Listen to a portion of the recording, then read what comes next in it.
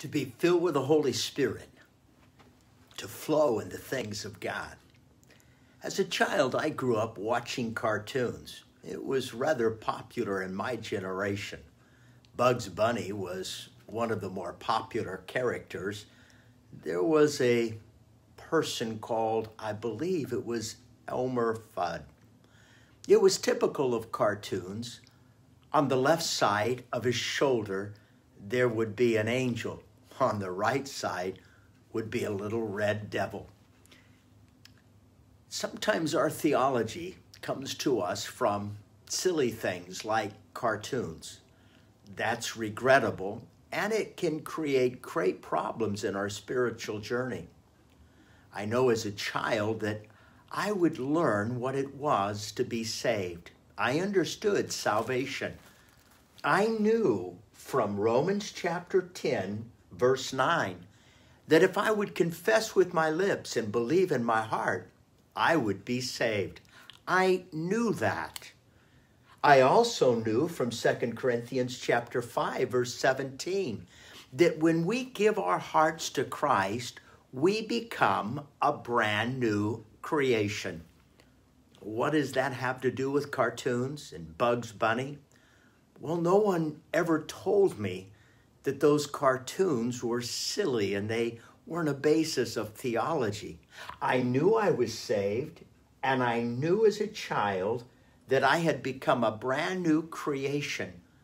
But what I didn't know that there was a battle inside of my heart, in my spirit. I just felt that the devil was on one side and the angel was on the other side, and they were constantly pulling for me to do good or bad. It's kind of a Flip Wilson type theology the devil made me do it. So whenever I made a mistake, whenever I fell, whenever I, I failed to do what God really expected of me, I actually felt I lost my salvation. There are many people that feel that they lose their salvation, that the struggles that they have are, are misunderstood. Paul gives us something I wish somebody would have told me about many, many years ago. I would go 10 years struggling in my spiritual walk with Christ because I didn't know what Paul had written to the church in Galatia. Here it is, chapter 5, verse 16. So I say, let the Holy Spirit guide your lives then you won't be doing what your flesh craves. The flesh wants to do evil, which is opposite from what the Spirit wants. The Spirit gives us the desires that are opposite of what the flesh desires. These two are constantly fighting each other. And that's what I didn't know. You have the flesh and you have the Spirit. And in different translations of the Bible, it says the flesh and the spirit in Galatians chapter 5 are in conflict with one another. Here it says they're constantly, in the New Living Translation, they are constantly, constantly fighting each other. Well, I misunderstood. I, I, I, thought that was the devil and an angel that were fighting inside of me. Well, you know as well as I do that a born again believer that has Christ within their lives, they can't be demon possessed. They're saved. And we don't lose our salvation, but we do struggle. We struggle right here with our flesh and with our spirit. Oh, I knew I was saved and I knew I was a new creation, but what I didn't know and no one told me was that this internal conflict and this constant fighting between my flesh and my spirit were going on all the time. Once I discovered that, I realized that if I was going to do and become what Christ wanted me to become, I need to make certain I feed the spirit and not the flesh. I need to discover that my enemy was my flesh. It was constantly pulling me away from the things the Spirit wanted me to do. And how do you feed the Spirit? Daily devotions. You fill your heart with the Word of God. You spend time with Jesus. You spend time in the Word of God. And then, as your roots begin to grow deep, you begin to you begin to produce fruit, spiritual fruit in your life. That's right. Things like joy and kindness and goodness. Some people they they take the fruit of the spirit and they duct tape it into their lives.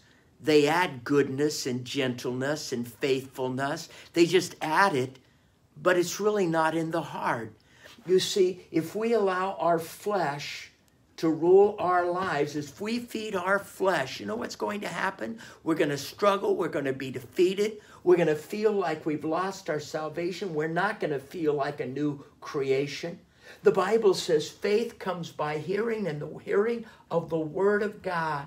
To fill our hearts with prayer, to spend time with Christ, to fill our hearts with the Word of God, to be in fellowship you remember what the Bible says forsake not the assembling of the brethren. Don't neglect fellowship, being in a small group, corporate worship, being in church. The flesh says, I don't want to study the Bible. I don't want to pray. I don't want to be in fellowship. I don't want to go to church.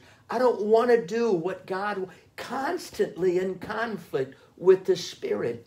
Oh man, I tell you, my life changed. It's never been the same again. I discovered it wasn't a little devil over here and a little angel over here. I discovered that inside my heart, my flesh was fighting my spirit. And then I had to make a daily decision every single day. I'm going to get up. I'm going to make my bed. I'm going to open up my Bible. I'm going to fall on my knees. I'm going to cry out to God. I'm going to feed my spirit.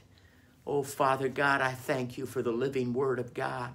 I thank you, Lord, that I can put on the helmet of salvation, the chest plate of righteousness, the belt buckle of truth. I can hold up the sword of the Lord and the shield of faith. I can shod my feet in peace. I thank you, Father God, that your joy floods our hearts as we walk in goodness and kindness and gentleness and faithfulness and, and in peace. I know, Lord, it's going to take patience and self control today, but these are all fruit of the Holy Spirit. And I know, Lord, that whatever we do, we must do with agape love, unconditional love. Oh, produce the fruit of the Spirit as we feed our spirit each and every day in Jesus' name. Well, you know it. You know that you're saved. You know that you are a new creation in Christ. And now you know there's a battle between your flesh and your spirit. Feed the spirit, don't feed the flesh.